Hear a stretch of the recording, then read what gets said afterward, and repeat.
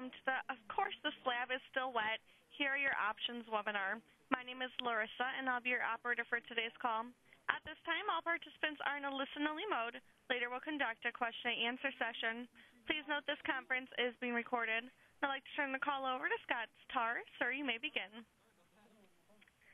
Hi, everyone. Thanks for joining. Um, I'm going to give a seminar today called Of Course the Slab is Still Wet. Here are your options. Uh, the main focus of the, the talk today really is on how concrete moisture can affect floor coverings and floor covering systems.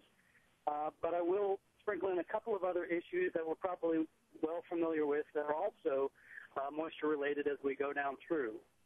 Um, just a little background on myself. I worked 17 years at CTL Group, uh, a division of the Portland Cement Association, and five years with concrete engineering specialist with Bruce Suprenant and Calvin McCall before opening up uh, my own consulting firm. So we do uh, consulting on concrete, and my particular area of expertise is floors and flooring on, on concrete floors. Today we're going to talk about the factors in the drying time of concrete slabs.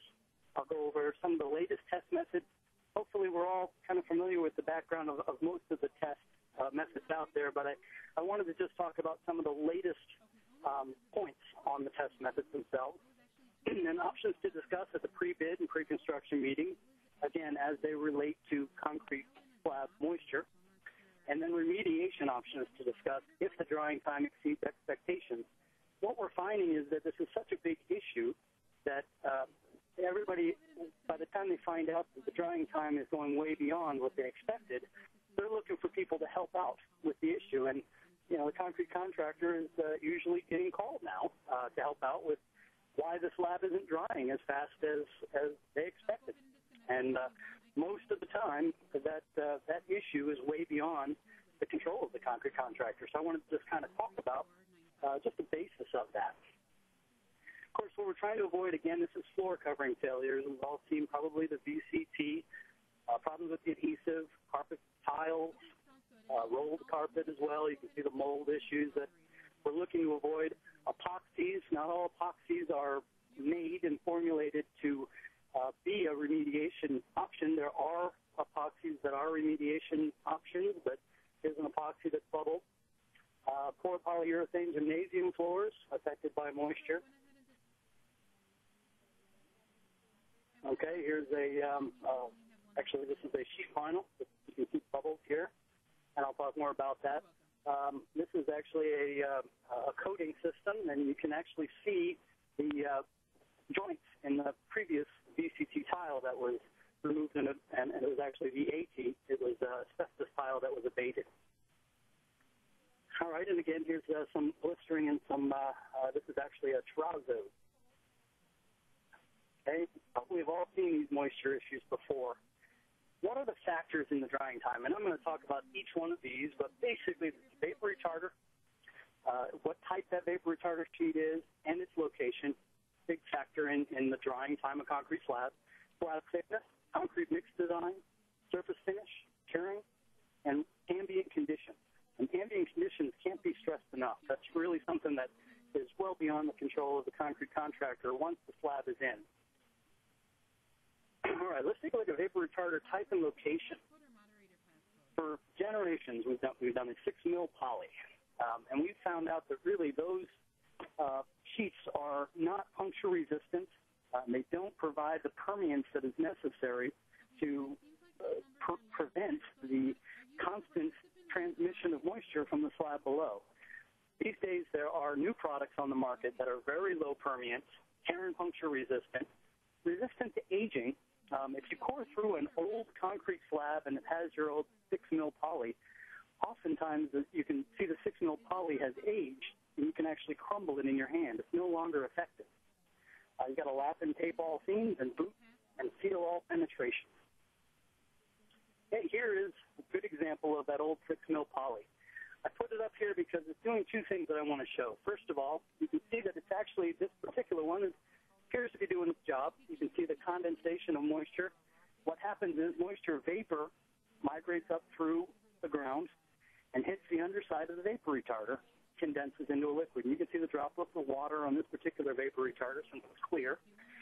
The other thing I want to point out that I'll talk about is a blotter layer that's between the vapor retarder and the concrete slab that goes to location, and I will get to that.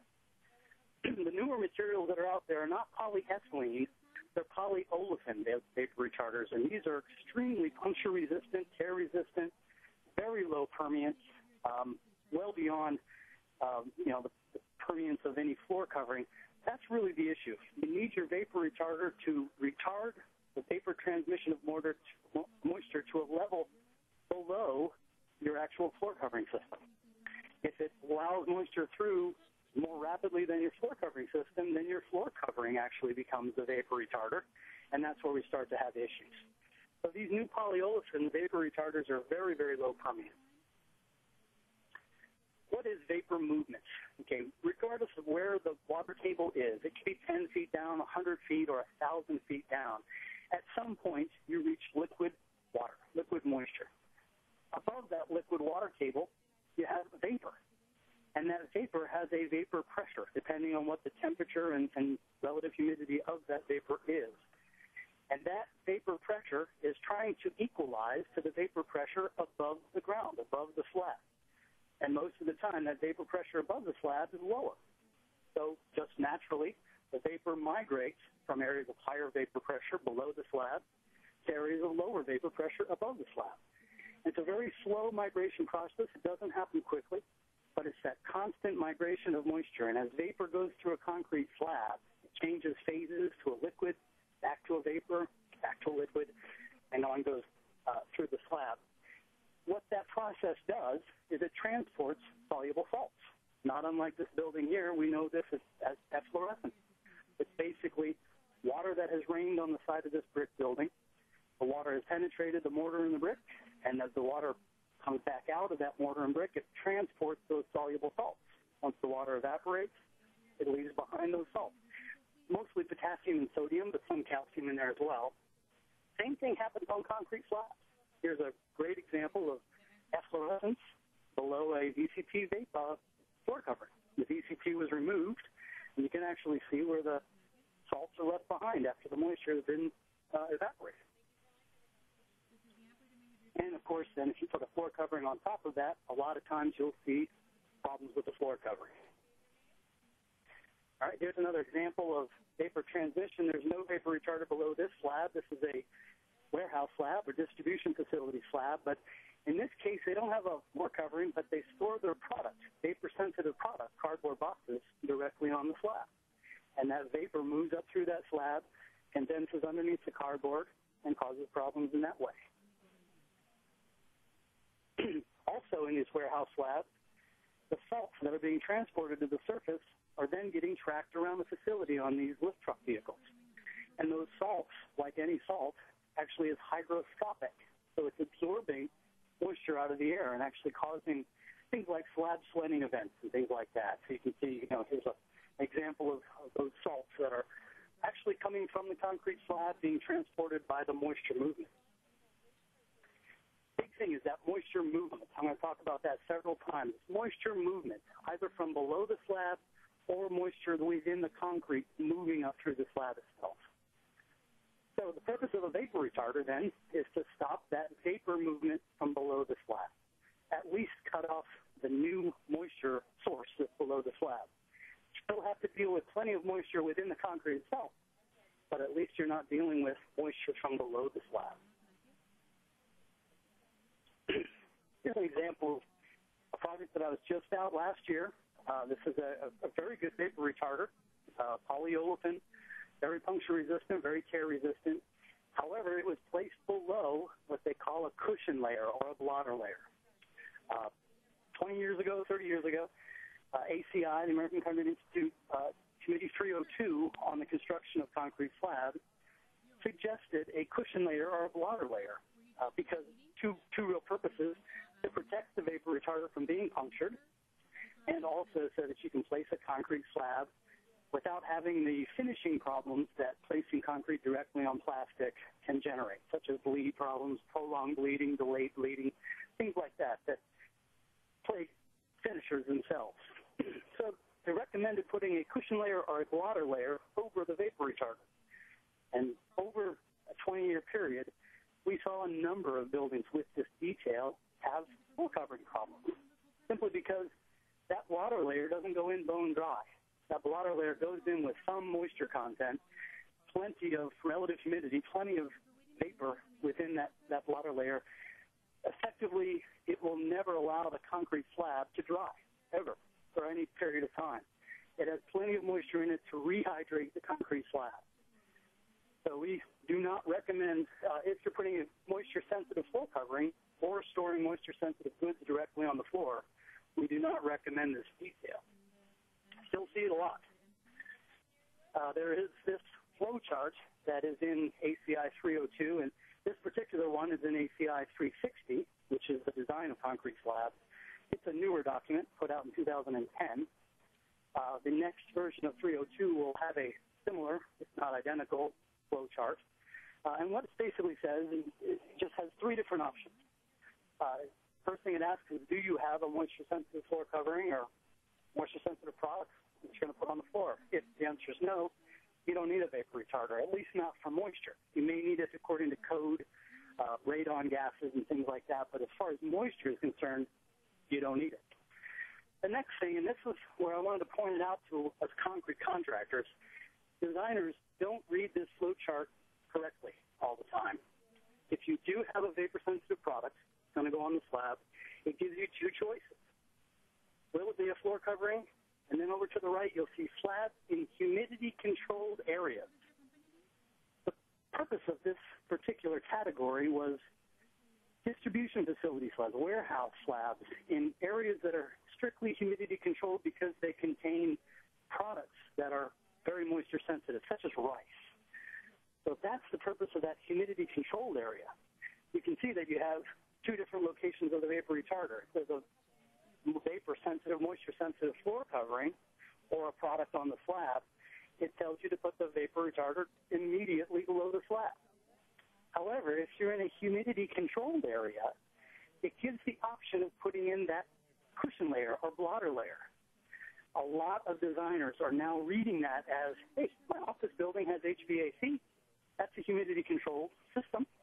I can then put that blotter layer according to the standard. And that is misreading this. If there's a vapor sensitive floor covering or product that's going to go directly on the floor, the vapor retarder must be immediately beneath the concrete slab.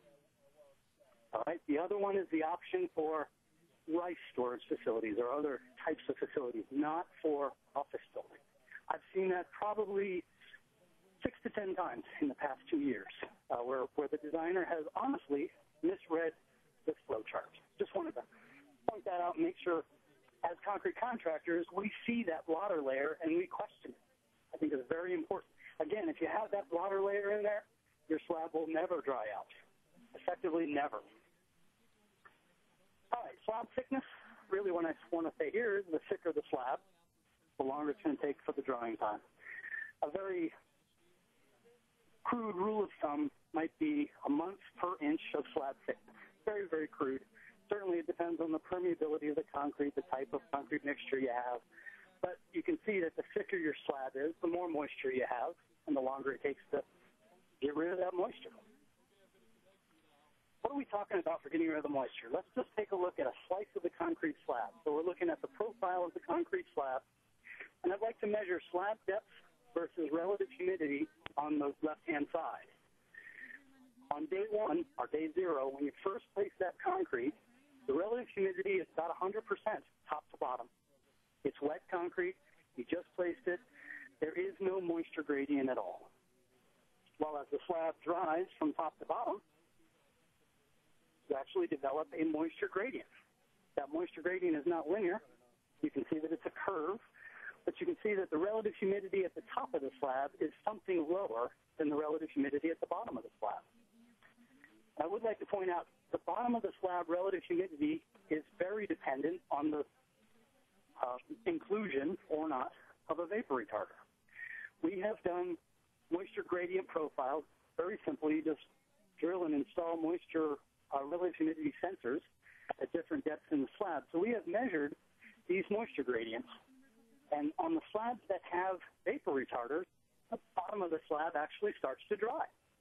If you do not have a vapor retarder, or if you have a blotter layer or cushion layer of aggregate between your slab and vapor retarder, the bottom of that slab continually gets rehydrated and effectively never dries.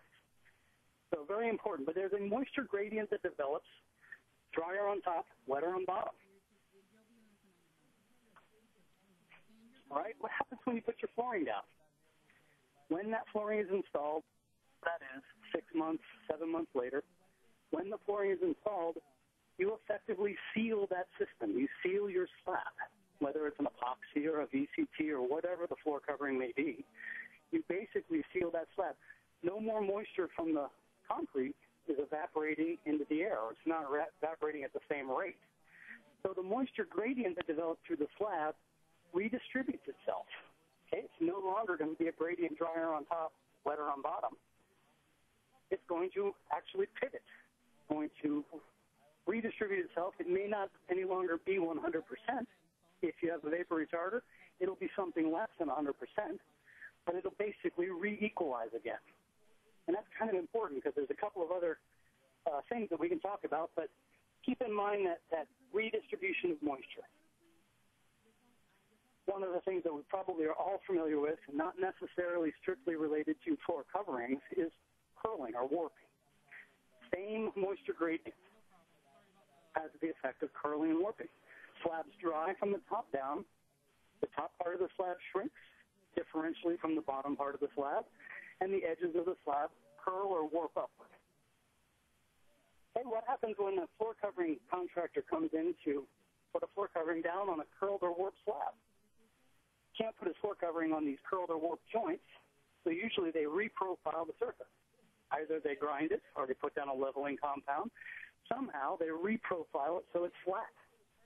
But look closely. They've reprofiled the surface, the top surface of the concrete slab, but they haven't done anything to the curled bottom surface of the concrete slab. What happens when you put your floor covering down? That same moisture redistribution occurs. It's no longer going to be drier on top than it is on the bottom. It's going to redistribute itself and equalize. And once there's not a moisture gradient anymore, that curling actually relaxes back downward. This was shown uh, back in the 60s at the Portland Cement Association. They basically said, if you have a curled slab that's drier on top, what happens if we flood it? Put water on it, flood it, rehydrate that surface, the curling actually relaxes back down. Take the water off, surface dries again, the concrete curls back up. But once you seal it with a floor covering, the concrete relaxes back down. And a lot of times you'll see these mole trails, we call them, these little buckles in the floor covering over those joints, cracks. Here's a VCT over a cementitious underlayment. Happened all of a sudden. This was a school in southern Illinois, and the principal said he went into the school one morning and just heard popping noise. So it's something that happens right away. At poured polyurethane gymnasium floors, you can see the cracks here. What happened is there was no joints in this gymnasium floor. They just let it crack, reprofiled, filled the cracks, put the poured polyurethane gymnasium floor down, it relaxed back down, and extruded out the joint filler. You can see joints in a lot of these kind of facilities. This is an electrostatic dissipative flooring good example here, good picture of that extrusion of joint filler that comes out. Whatever that material is that you use to fill those joints can be extruded out during this warping relaxation.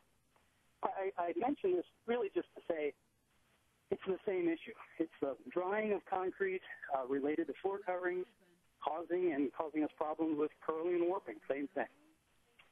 Concrete mix design, certainly a factor in the drying time of concrete slabs more water you have in your mix design, the more time that it's going to take for that excess water to leave the concrete. You probably all know TC Powers, uh, back with PCA, did some research on what is the water cement really required to hydrate all of the cement.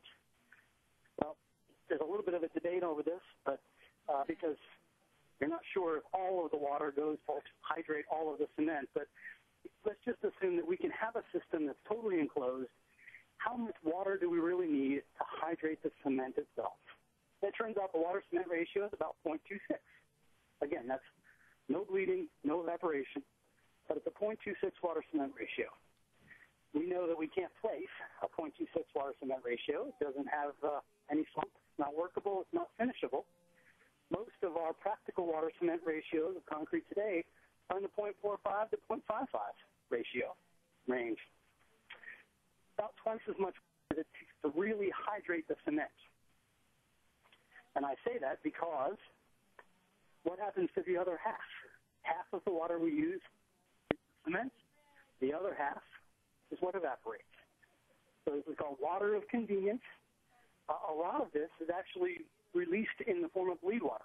When you're placing the slab, bleeding occurs, moisture bleeds to the surface, and evaporates off. But some of it certainly stays in your slab on the setting time the other factors that um, determine how much this water of convenience actually stays in your slab. But I think we can see that there is some additional water in concrete that needs to evaporate off. Lightweight concrete. lightweight concrete is lightweight because of the aggregate. The aggregate's very porous and lightweight. However, when you make a concrete mix design, you have to saturate that aggregate. You don't want the aggregate to remove any of the moisture from your paste. You don't want the aggregate to release any moisture into your paste. You have a design water cement ratio, so you have your aggregate saturated surface dry, it's called. Well, since lightweight aggregate is porous, it contains more water. Possibly this increases the drying time of lightweight concrete slabs. There have been studies that show the drying time is double. There have been other studies that show that it's not really that drastically greater, but I think we can see that there's more water depending on the density and permeability of the concrete paste, it could take longer for that water to release out of the concrete. All right. Every truckload of concrete delivers over 100 gallons of free water at no extra charge. It's absolutely free water. So it's a lot of extra water that you've got to let get out of your concrete slab. All right, let's talk about surface finish. This is always uh, an interesting one, especially for the concrete contractor we're in a little bit of a quandary. The harder we finish the concrete slab, the denser we get the surface. And we know that. We can hard trowel a concrete slab. We can really densify the concrete slab. We can burnish the concrete slab, in fact. But the denser we get that finish, the, the more time it's going to take to release the extra water that's in the concrete. There's actually a study uh, that was done that shows concrete has so much extra water, if we just hard trowel it and burnish finish it, we don't even need to cure it. I totally disagree with that. You know, the hard trowel surface is dense and keeps the moisture into the middle of the slab, but we cure it because of the exposed surface of the concrete. I, you know, I'm all for reducing the curing time. It certainly doesn't need to be 28 days. Uh, I usually say seven. Sometimes I even allow five five days of curing. But you've got to have some curing time for the extreme outer surface of the concrete, the top of the concrete slab, the part of the slab that you're going to be wearing. So you've got to cure it. But basically what I'm saying is you're, you're hard troweling a concrete slab, and just by doing that, you are increasing the drying time. Now, why do we hard trowel? The reason we do that is because there's usually a required flatness. And about 10 years ago, I tried with several contractors to just float the slab. But depending on your floor covering, you just can't get the flatness that you need. You can't get the surface texture required not to broadcast through the floor covering itself. So it's a discussion item. Most of the time, as you know, the concrete contractor doesn't know what kind of flooring is going to go in. All he sees is Division Three of the specs, and he sees a flatness. And we can achieve that flatness, no problem. But we have to use trowels. If you have a discussion at the pre-bid meeting or pre-construction meeting, what kind of floor covering is going to go in there? Perhaps we can do a lighter trowel. Don't have to necessarily do a very hard trowel. Maybe we can reduce that flatness to give us some comfort. Okay, burnishing I talked about. We're trying to reduce the amount of burnishing that's happening just in general uh, we've looked at a lot of slab sweating issues, and the harder trowel you get the surface of that slab, the more glass-like you get it, the more likely you have a potential slab sweating issue. So we've tried to come up with ways of, of trying to prevent burnishing. Very difficult. How do you specify? I want a very hard trowel. Stop troweling just before you burnish it. You know, that's very, very difficult to, to specify and very, very difficult to do. One way that we do know that you can't burnish a slab if you use plastic weights. So sometimes for that last trowel pass or the troweling in general, using these plastic blades will prevent you from really installing a burnished finish. Now, we all know that they wear, they cost money. That is something that needs to be discussed at the pre-bid, pre-construction meeting. All right, so that's surface finish. Here's a, a, a great picture of a, a sweating slab that we had. And you can see the difference here between the ride-on hard trowel burnished area out in the center of the slab and the pour-back strip along the perimeter of the slab. The pour-back strip was finished by hand, wasn't finished nearly as dense, and you can see the pour-back strip in this particular case is completely dry. Now it was it was troweled. It felt hard. It was wear resistant. I couldn't scratch it. Um, but you can see the difference between what I would consider the burnished finish out in the majority of the slab and that lighter, tight trowel finish around the pour-back strip and on the perimeter. Curing, one of the other factors in, in concrete drying time. Depends on the method of curing, really. First of all, I continue, and I'm sure you do too, I continue to hear curing and drying, those two terms, used interchangeably. When there's a floor covering problem, it seems like just about every time somebody says, well, that slab didn't cure long enough. Look how wet it is. And I said, well, it's still curing. It's, curing is keeping the slab wet, extending the hydration of the, the cement. Drying is the exact opposite, letting it dry. I know it's probably everybody on the on the call today probably is well familiar with that, but I continue to hear it didn't cure long enough, which is just ridiculous. But we always recommend moisture retaining covers, especially when a floor covering, moisture sensitive floor covering is going to be installed. Why is that? And, and I'm not saying wet cure necessarily. There are some great absorbent covers that are available on the market that you roll out. You may apply some water as they're rolling, and really there's no extra water, no soaker hoses. Um, very rarely do you have to add more water to that system, but it will keep the slab wet. It retains that half of the water that you put in the concrete mix. It just retains that water to cure the slab. Reason I like these is because when you take up that moisture retaining cure cover, it starts to dry. It's drying right now. You take it up, immediately it starts to dry. Curing compounds, which you know, I'm not a, I don't dislike curing compounds. I, they're, they're fine. But what are they intended to do? Curing compound is intended to be sprayed and applied to the slab surface, form a film, and prevent drying, basically, prevent evaporation from the concrete slab surface. All well and good.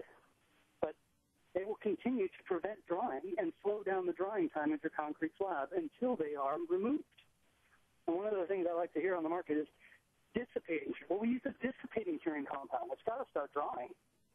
Well, when does that start drying? They're dissipating because they break down under ultraviolet light exposure. They're not disappearing. They still remain on the surface. And if you don't expose them to ultraviolet light, they can be really difficult to remove from the concrete slab surface.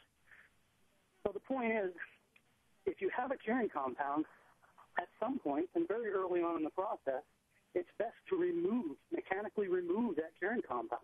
One, to let the slab dry, and two, that I'm aware of, there are no adhesive manufacturers that will provide their warranty for their floor covering system if there's a curing compound that hasn't been removed. And as you know, if you look at the cost of curing compounds versus moisture retaining covers, if you include removal of that curing compound, it can be a costly item. So that's that's curing. curing. Again, curing compounds, all well and good, but they extend the drying time. Ambient conditions. You know, I was just in Charleston, South Carolina not long ago, swam in the hotel pool, took my towel and put it over the railing. Next day I went to go for another swim, and that towel that had been there all night and half the day was still wet. It's very humid. Uh, Charleston's beautiful, but it's very humid in Charleston, South Carolina. That towel did not dry. It was still damp. Same thing happens with concrete slabs. If you don't expose the concrete slab to drying conditions, it won't dry. It'll stay moist. If you're in Houston, Texas, or Charleston, South Carolina, Charlotte, North Carolina, these are humid areas.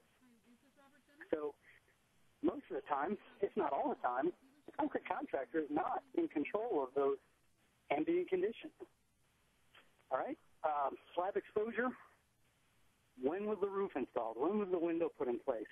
I went on a job last year, and the slab was still wet. General contractor was very upset. This slab was placed eight months ago. I can't believe it's still wet. I said, well, when was the roof, you know, when was the building watertight? Three weeks ago. So it's got to be watertight in order for it to dry. There's plenty of studies out there that show if the slab is exposed to rain or rehydrate, it completely rehydrates. The drying time starts back to zero. Okay, no matter how old it is, two months, three months, rain on the slab, starting it all over again. So it's very important as far as drying time of the concrete slab to get that building watertight as soon as possible. Okay, HVAC. I usually do not have success talking about getting the HVAC operational. If you can do that or suggest it, if the owner is open to the idea, usually he's not because he has a brand new HVAC system, and you know obviously with construction dust, he's afraid of damaging that equipment. So it's usually pretty difficult to get the HVAC running, but it certainly is a discussion item. The sooner you can get that, that interior, that slab building climatized, that's going to provide those drying conditions.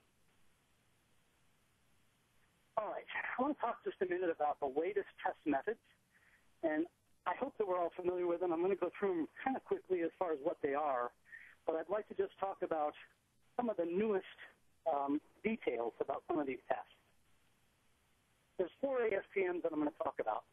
And this latest ASTM here uh, was recently introduced. It's the electrical impedance, ASTM F2659.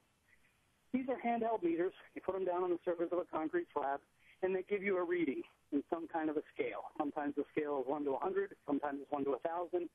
Uh, depending on what that scale is, you get a reading. These do detect higher and lower amounts of moisture. A moist slab will have a higher reading compared to that same concrete with less moisture. However, the thing to be very aware of with these pieces of equipment is other things also affect the electrical resistance and electrical impedance of these meters. Type of aggregate, um, amount of curing that's happened, uh, type of finish, uh, sealers or curing compounds, the presence of those.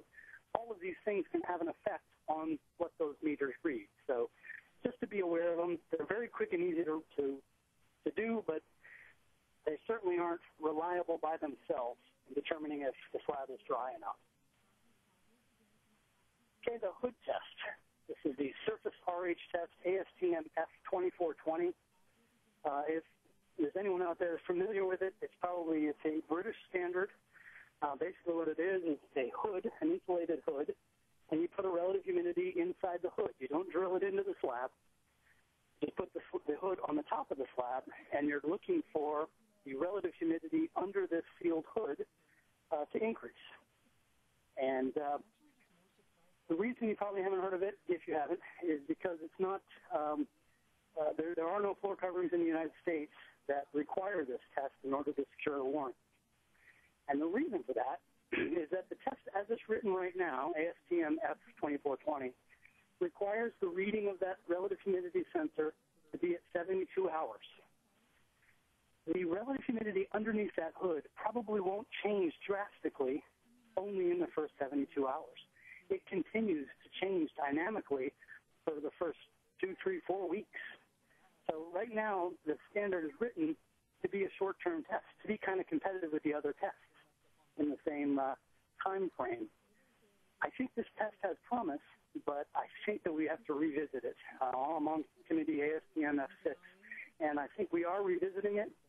Unfortunately, I think it may have been reapproved, um, but uh, I think it needs to be revisited to become a longer-term test. Okay, the, the two tests that we're probably most familiar with, calcium chloride, ASTM F1869. The United States is the only country in the world that uses this test. Um, we developed it uh, back in the 1940s. So we have a lot of history with the test. Basically, what you're doing with this test is you're taking a dish of calcium chloride, putting it on the surface of a concrete slab, and putting a dome over it, and measuring the, the uptake of moisture into that calcium chloride dish. You weigh the dish dry and you weigh the dish wet, and you can put it through the equation to give you a moisture vapor emission rate, MVER. The problem with this test is that, again, we have a moisture gradient through the concrete slab. It's drier on the top than it is on the bottom. So you're putting this test on the surface of the concrete slab and measuring whatever moisture may be available in the surface of the concrete slab, only in the surface. Uh, the test is only 60 to 72 hours, so in that short amount of time, you don't get moisture migrating from the bottom of the slab up and, and becoming part of your measurement. It's really only that it's in the surface of the slab only. Now, that measurement in itself is important because when you go to put on your adhesive, when the, when the flooring installer applies the adhesive, he really needs to know if the surface of that slab is dry to an acceptable limit. These newer uh, adhesives are water-based, and you need to know if the top of that slab is dry enough. So it does have an importance. It will show you the short-term um, ability to install your floor covering correctly and allow that adhesive to tack out properly. But as far as long-term prediction of potential problems, you're potentially missing a, a large source of moisture down deeper in the concrete slab. So again, that test does moisture vapor emission rate from the top. Doesn't really talk about how much moisture you have within the slab. Okay, we'll talk about internal relative humidity. This is ASTM F2170. This is the test that you drill into the concrete slab to a depth of 40% of its slab thickness, install a relative humidity sensor, and measure the relative humidity down in the slab. This kind of lets you know what your reservoir of moisture is. How much moisture do you have potentially deep in that concrete slab to migrate up and cause problems with floor covering? Okay, let's talk just a minute. 40% depth. Where did that number come from? Why isn't it mid depth? Where is 40% from? You remember this chart here that I, I showed that shows the moisture gradient before you put the floor covering down? Then after the moisture gradient, it pivots. It pivots at a point, and it actually pivots at 40% slab depth. So the only static number on that moisture gradient before you put the floor covering down is at a depth of 40%. This is based on research that was conducted in Sweden. Uh, Sweden has used this type of testing much longer than the United States has, um, and that's where that number of 40% depth comes from. All right, so that's the again the only static number on that moisture gradient. You may have heard in recent years, over the past two, three years, there has been some rumbling in the industry. The number that you get is dependent on the brand of equipment that you use. As we know, regardless of your ASTM standard, it shouldn't depend on what brand of equipment you use, as long as all that equipment is compliant with the ASTM standard. You should get the same number. We weren't getting that. In fact, there was a discrepancy of 10, 12, 13% difference. So some relative humidity sensors will measure high, 98, 99%, while others are measuring in the mid 80s.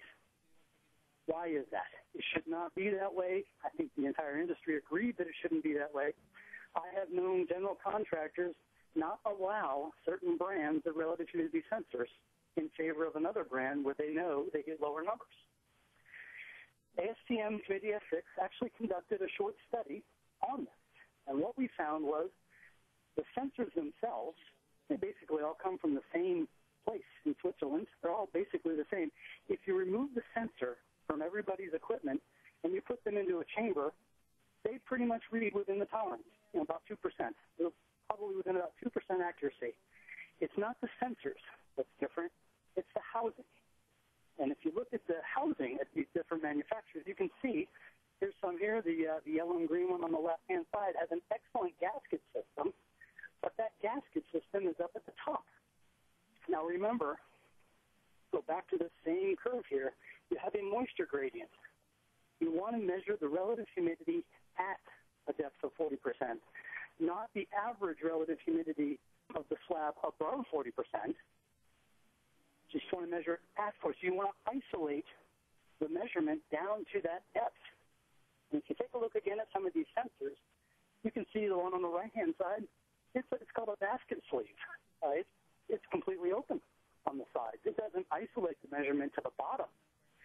And the further you isolate to the bottom of that hole that's drilled 40% into your slab, the higher that moisture measurement's going to be. So, unfortunately, the equipment that measured high was probably the equipment that was measuring accurately, believe it or not. You're measuring the depth at 40% and not the average relative humidity of the top half of the slab. All right, so I'm happy to say that all the manufacturers of the equipment participated in our ASTM study. They were all very interested in why the discrepancy. Uh, they're all redeveloping their equipment. Uh, the latest ASTM F2170 has been modified, and those of you that have sat on consensus committees, you know how hard it is to get a new document written and approved. This document was new in 2009, it was new in 2010, and it is finally new again in 2011 it underwent three approved, voted on changes in three years. Remarkable. And that just goes to show you kind of the learning curve that we in the U.S. have had with this test. But now in the latest ASTM test method, it talks about the sleeve system. It talks about the, the, the equipment needed to measure and, and limit it so that you do get an isolated reading isolated to a depth of 40%. Uh, another factor that we also found was it depends on the amount of air, the air pocket isolated at that depth. If you're measuring the relative humidity in a larger air pocket, you get a different reading than if you were using the same sensor and measuring it in a smaller air pocket. So the new ASTM standard talks about that volume of air as well. So just uh, you know, look for it doesn't matter what manufacturer, um, they should all now uh, measure uh, the same. And I think these are the only four that are out now, and the others are still uh, still rolling out their new products. Very, very new. All right. So we've kind of gone through here options to discuss at the pre-bid and pre-construction meetings. Certainly, you want to talk about vapor retarder type and location.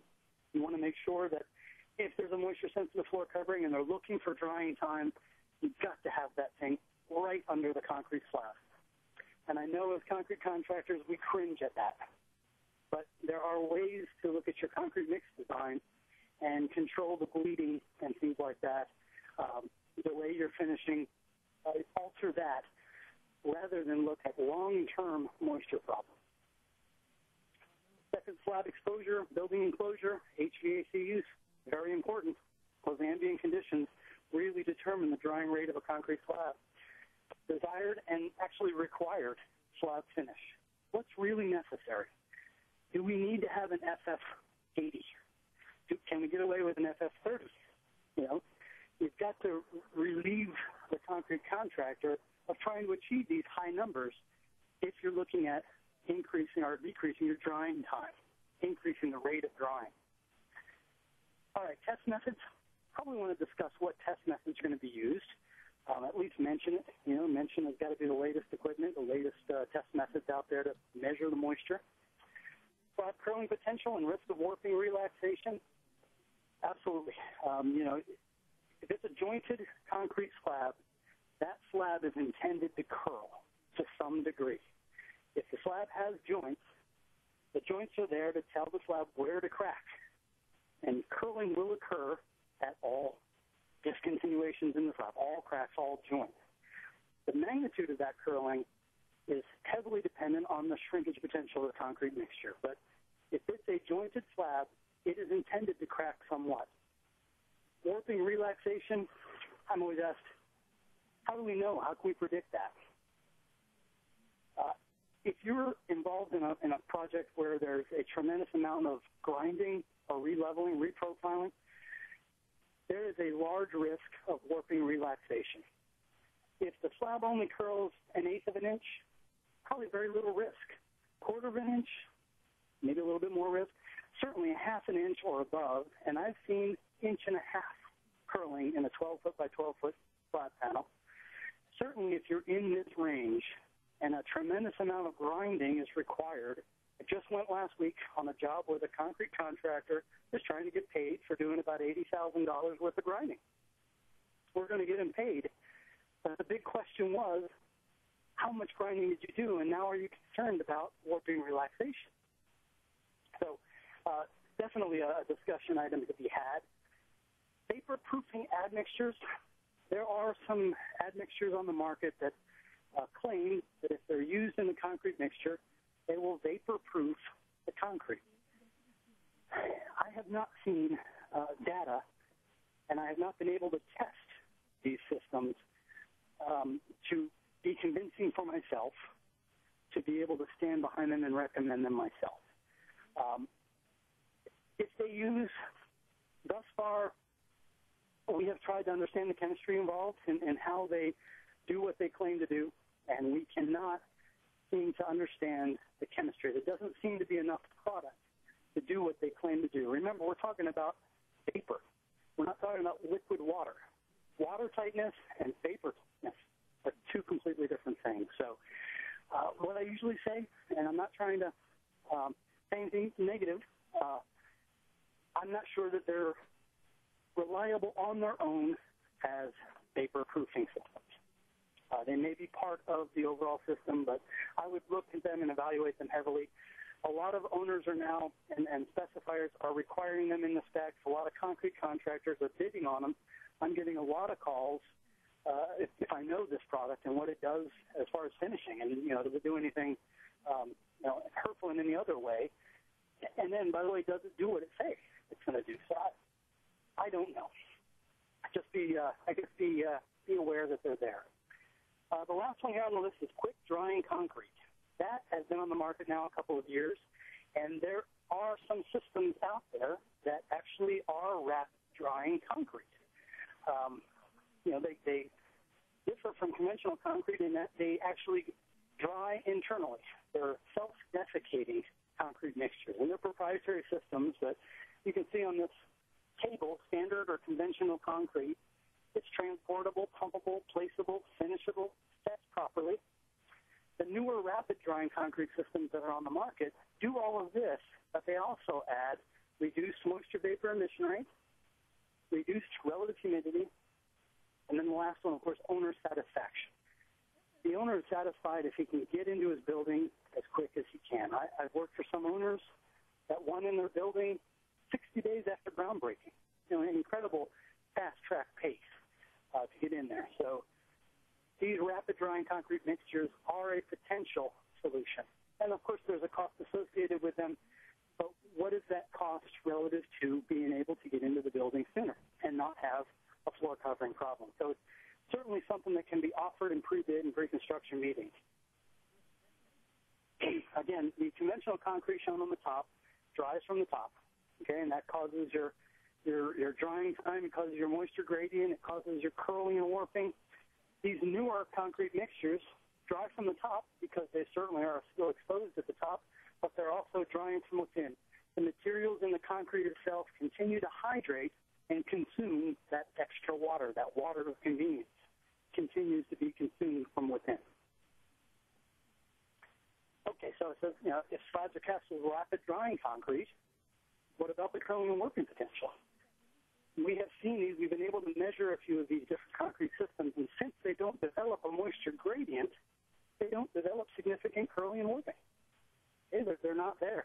We've tried to uh, have some slabs cast without any joints, okay, because um, there's probably not a lot of shrinkage that's involved in some of these systems. So right now, people are certainly still skeptical not putting any joints in a slab, uh, but uh, you know they, they certainly don't curl and warp the same as a conventional concrete slab would. Okay, can it be pumped? Can it be screeded? Can it be? My my initial reaction when it first came out, uh, these systems, you can't finish it. You know, we've seen this before. Very low water cement ratio, below 0.4.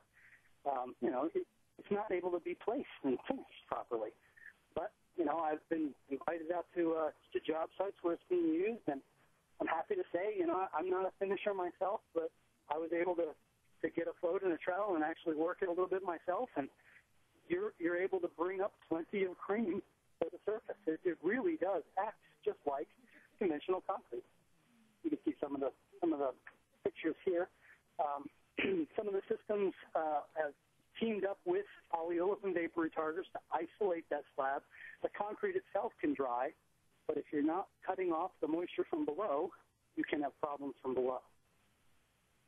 Okay, so there are those. How long? There are systems on the market that say guaranteed 30 days. Okay, so it will dry to an acceptable limit 30 days following watertight enclosure of the building.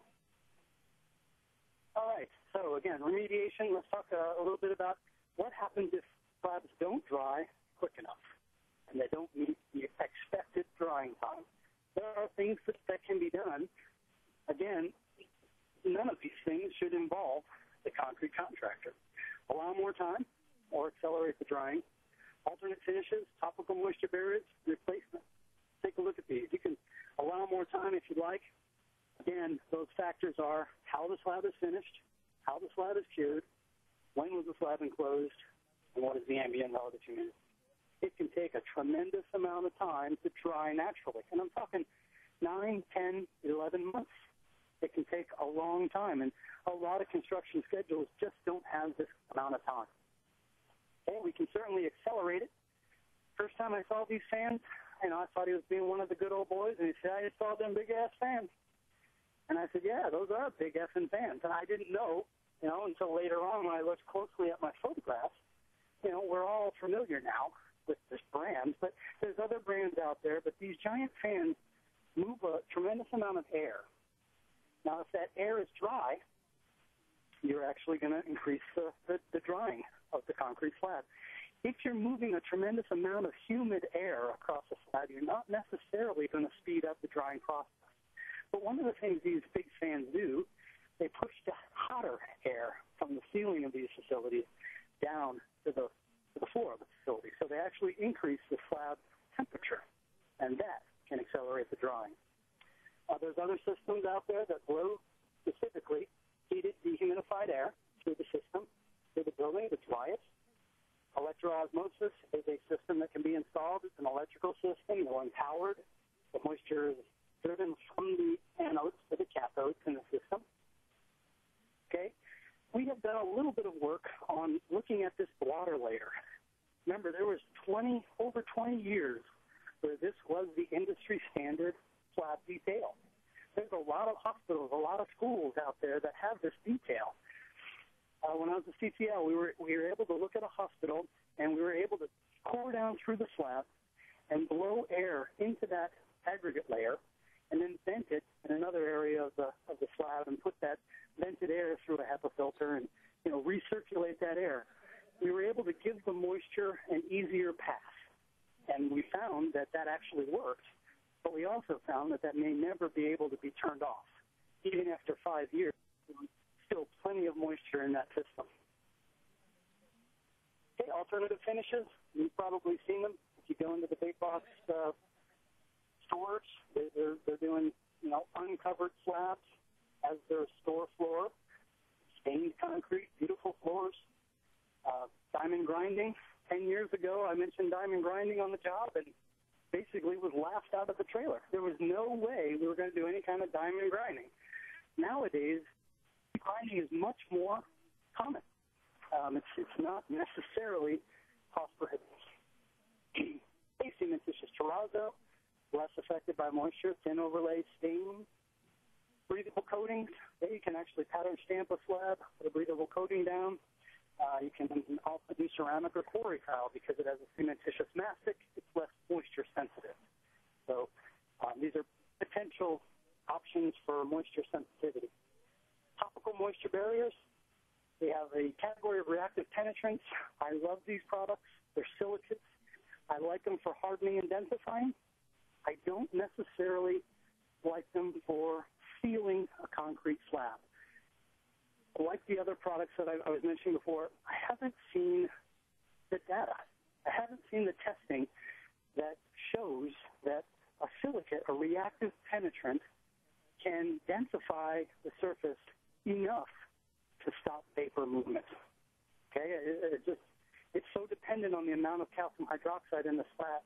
I'm not sure that these are entirely reliable. Um, I know they've worked, um, but I guess I would I, I would be skeptical uh, when they're proposed. Uh, liquid applied topical vapor retarders. There's more than 75 on the market. Tremendous amount of them. Uh, they must be effective at stopping moisture and high pH. They must be compatible with flooring. I talked about some of the risks. Warping relaxation, a risk with any floor covering, sealing the surface. Um, another one is ASR. You probably all know alkali silica reactivity. It's the alkali from cement reacting with the reactive silicate aggregates. Uh, not all siliceous aggregates are reactive, but if you have a reactive siliceous aggregate, you can actually get an expansion. And what happens is if that aggregate is in the surface of a concrete slab, it could dry out really quickly. This reaction requires 80% relative humidity. So if the surface of the slab dries to below 80%, you may have reactive aggregate just sitting there waiting to be rehydrated and, and have the reaction. So what rehydrates it is when you put down a floor covering, potentially. Okay, again, moisture diffusion goes up through after you put your floor covering down you can drive up that pH. Okay, bring with it a soluble salt, create a scenario where ASR occurs. Here's a, a picture of, of ASR reactive aggregate and the resulting dimples or blisters that occur from these rays. They look like osmotic blisters in a, in a coating system or a flooring system. Okay, replacement procedures.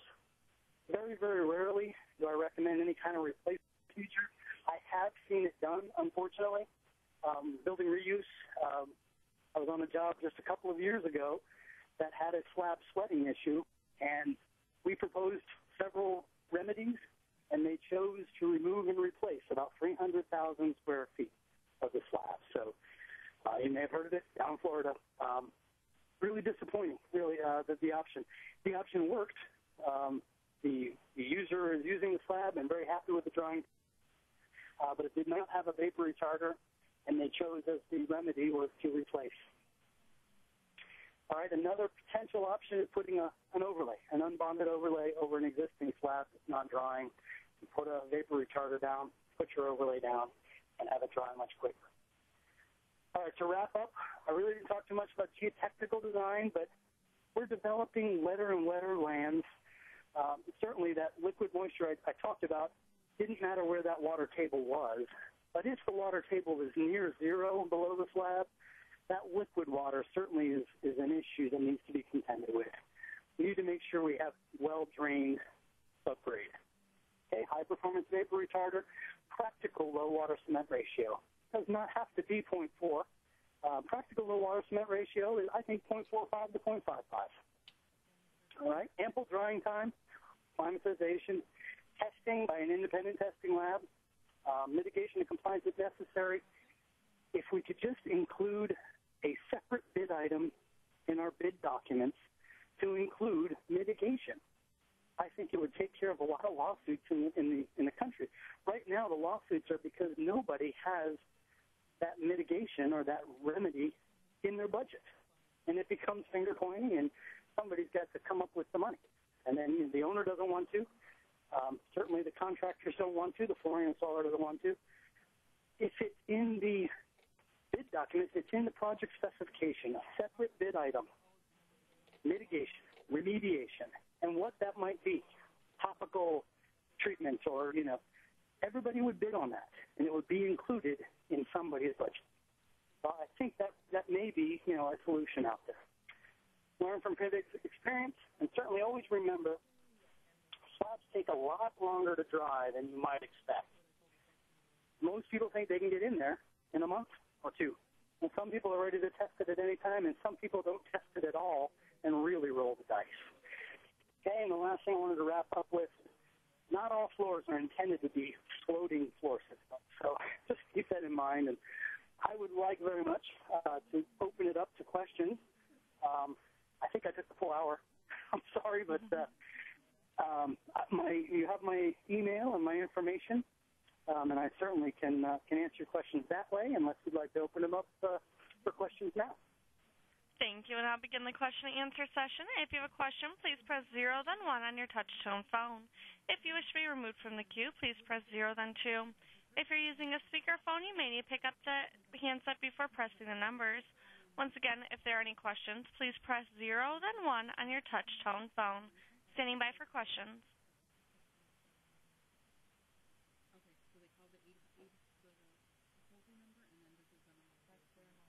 And I'm showing no questions at this time. Very good. Please uh, email me if you have any questions. I appreciate everybody's attendance today, and I hope that uh, hope I said something that maybe you hadn't heard before. Thank you, ladies and gentlemen. This concludes today's conference. Thank you for participating. You may now disconnect.